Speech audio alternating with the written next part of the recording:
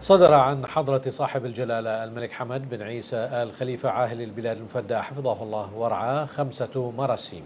فقد صدر عن جلالة الملك المفدى مرسوم رقم 19 لسنة 2016 بتعديل بعض أحكام القانون رقم 32 لسنة 2010 بشأن الكشف عن الذمة المالية ومرسوم بقانون رقم 20 لسنة 2016 بتعديل بعض أحكام القانون رقم 26 لسنة 2014 بإنشاء المؤسسة الوطنية لحقوق الإنسان ومرسوم بقانون رقم 21 لسنة 2016 بتعديل بعض أحكام قانون مصرف البحرين المركزي والمؤسسات المالية الصادر بالقانون رقم 64 لسنة 2006